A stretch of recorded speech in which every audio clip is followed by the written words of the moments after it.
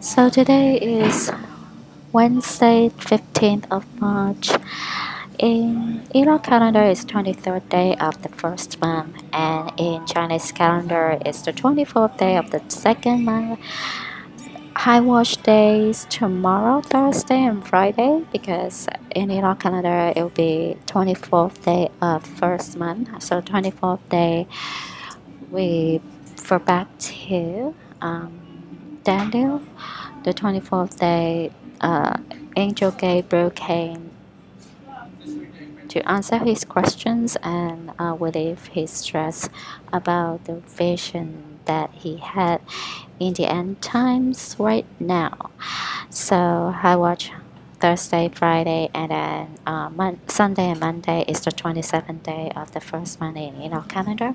So 27th day was the day Jesus ascended to heaven. So, um, right now, before the spring equinox, everything seems to be in place, like the banks are falling apart, uh, dropping like flies, and um, the conflict yesterday between Russia and US in the Black Sea area. And then uh, Iran is ready for war. Uh, China just uh, uh, acting like a middleman between Saudi Arabia and Iran. So Saudi Arabia already um, kind of um, how do you say it? Um,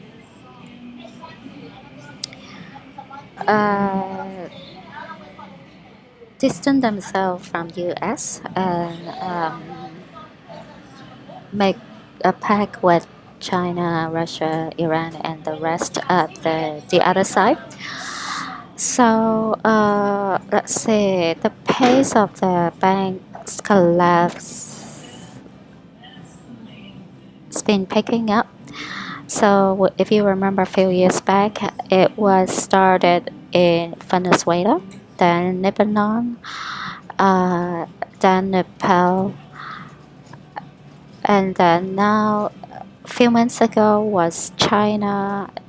Then um, at the same time in U.S., um, I think a few banks, um, people missing deposit or money, like let's say um, Wells Fargo.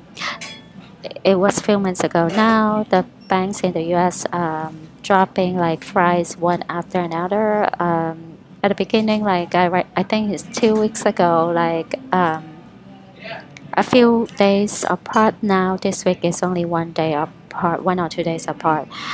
Uh, the fourth bank that is collapsing is um, Credit Suisse today.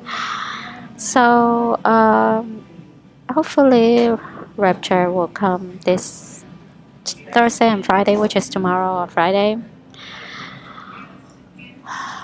Uh, it's getting um, you know really difficult to just wait, you know. Anyway, um, hopefully things will not dragging on till the end of May because um, June I think is a cut off time. June in June, uh, Sun enters Orion's constellation.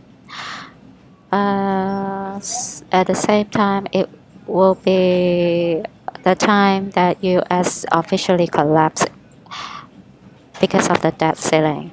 So everything has to happen before May. Hopefully, it's this week, the end of this week or this weekend. Let's pray that things happen now. it's really unbearable to wait one more second.